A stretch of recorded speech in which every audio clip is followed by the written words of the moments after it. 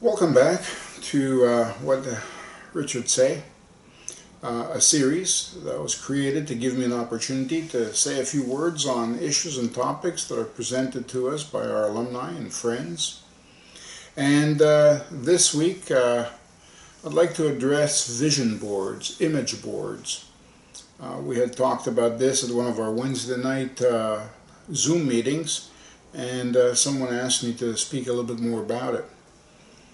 So let me start this way. There was um, an experiment made with uh, basketball players years ago, decades ago. And what they did is that they took a group of basketball players of roughly the same level of competence and ability, and they split them into three groups. And one group was told, you're going to go out half an hour a day and you are going to do uh, foul shots from the foul line. Just do shots one after the other. And you're going to practice your foul shots. The second group, they said, you're going to sit at your kitchen table and you're going to close your eyes for half an hour and you're going to imagine yourself. You're going to see yourself. You're going to visualize yourself in your mind's eye, in your imagination. You're going to see yourself making foul shots and you will see each one of them succeeding. And after each one, with your eyes closed, you will cheer, I did it, I did it. And you'll do the next one. And again, yay, I did it, I did it. And again, the next one. And the third group was told, you're just going to do nothing. We don't want you to go anywhere near uh, basketball. Don't think about it. Don't do it. Don't play it. Don't watch it. Do nothing. And the end of the month, they got the three groups back together again in a gym and they said, okay, do foul shots. Now, the ones that practiced every day for half an hour did improve their game, no doubt about it the group that sat on the couch, watched TV, and went nowhere near basketball did not have an improvement. Actually, some of them did a little less well. But the group that did the best, believe it or not, is the group that sat at their kitchen table, their eyes closed, and visualized themselves making foul shots. We don't exactly understand why and how this works. Some people contend that the brain cannot tell the difference between fantasy and reality. And so the image that was being fed was one of successfully accomplishing the task. And then when it came time to actually do it, the brain just simply knows how to do it and sent the proper signals to the body to get the job done. But it is true, to some extent, of course, I think, but it is true that the brain doesn't know the difference between fantasy and reality. And my simplest example for that, so we don't have to debate this very long, is arousal. If you are in the presence of a very sexually attractive person, you can be aroused. But if you're alone in your bed and you close your eyes and you fantasize about a, such a person, you can also be aroused. Your brain really doesn't care the difference between whether it's an imaginary or a real reality. This is what's at the basis of image boards or vision boards. And what they are is, in essence, a collage. So you take pictures out of a magazine and you glue them onto a piece of cardboard and you put words with them. So to give you an example of that, Years ago, I created an image board for our business to have good relations with the United States and that a lot of our clients were coming from the US and we wanted to be able to develop that US market. So I created a vision board where on one side there was a Canadian flag and on the other side is a, an American flag. And I found a picture of people shaking hands and I put it in between and I wrote on this board Chatsworth Pavilion having success in the United States. And it was something that we aspired to, something that we wanted to develop. And I put this image board behind the door of my closet at home. So in the mornings when I went to my closet to pick out a shirt and pick up the clothes I was going to wear that day, and the door was closed, I could see that image board and I can spend a few minutes there just looking at it and saying, yeah, that's right.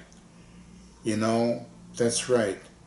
Medical tourism, bringing Americans into Canada for treatment from addictions.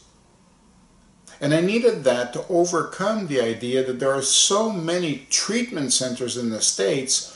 Why would Americans want to come to Canada for treatment? That was one of my stumbling blocks. One of those voices inside you that gnaw at you and, and try to bring it down. It's like, whoa, you know? And I needed an antidote. And that image board was the antidote because it nurtured within me the visualization, the appreciation that yes, it can happen, that Americans would want to travel all the way to Canada, all the way to Montreal, even in the dead of winter, to come and seek treatment here. As reality unfolded, even Houstonians and people from Dallas and Austin were coming up to Montreal in wintertime, and then I realized how excited they get at snow. They would go out and make snow angels during break. They were like kids in, in winter wonderland. And I, and I thought, who from Texas would want to come to Montreal in the winter? Given the fact that we Montrealers just dream and fantasize about escaping Montreal to go down south. Well, I was wrong. They loved coming up, even in the wintertime. And that image board, that aspirational thought that I put on that image board, became a reality. That's what image boards are all about. And you can design image boards regarding your personal health. You can design image boards regarding your fitness or your love of fitness, especially if you don't love fitness. I had one of those too. I had one of those where I imagined myself at the gym. And I tell you, I imagined myself at the gym way before I actually set foot in a gym.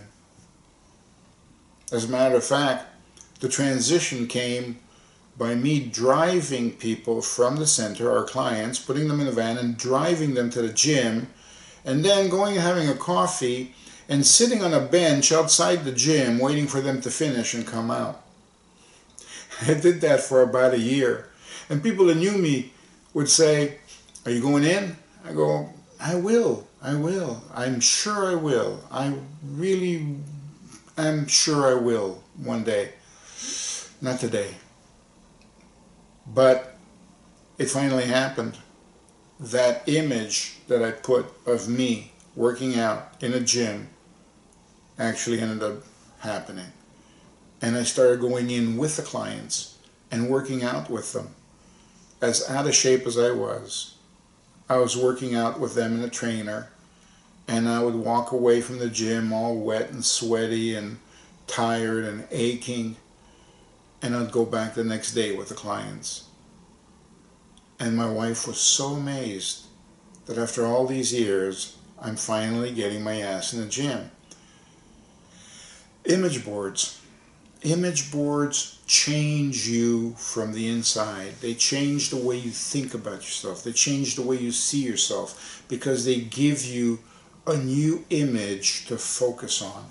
They give you a new image to nurture emotionally. They give you a new fantasy to get lost in.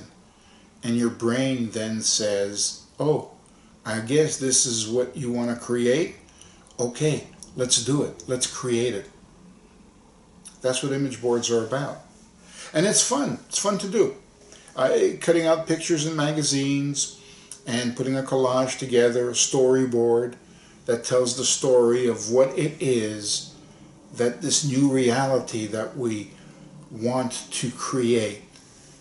Even though part of us doesn't believe we can, even though part of us doesn't really believe we want, even though part of us will fight it, that's okay. That's okay. That image board and that visualization is part of an affirmation system that basically says to my brain and my mind and my soul and my heart, this is what I truly want. This is what I want. Even though there's a part of me that fights it and resists it, this is what I want. And it will make it happen. So I wish you that. Have fun. Start your image boards. First ones may be a little clumsy. Mine weren't. My were, I should say. But, you know, you get good at it. And have some fun with it. You can get your loved ones involved. If you have kids, you can get your kids involved so that they can create image boards for themselves. Wonderful things to imagine. And as you're imagining them happening, your mind says, I can do this. I will do this. As I realize that this is what you really want, I will make this happen for you. Your mind is a great servant and it just needs orders from you. It just needs direction. It needs a vision of who you want to be, where you want to be, what you want to do, what kind of life you want to live. Give the order, and it shall be so. So, that's what I had to say on this topic. Hope to see you next week. Take care.